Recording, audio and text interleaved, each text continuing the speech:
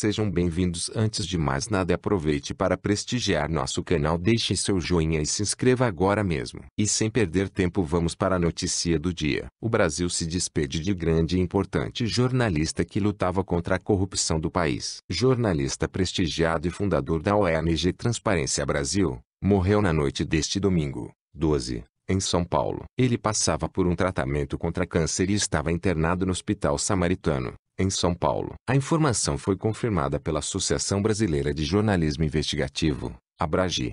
Aos 72 anos, Cláudio Weber Abramo, deixa nosso plano e vai para o plano do seu. Deus conforte sua família. E aí, o que você achou? Deixe seu comentário. Obrigado.